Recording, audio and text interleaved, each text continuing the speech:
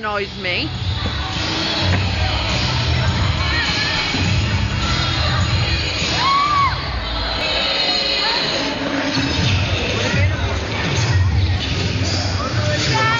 We don't know, right?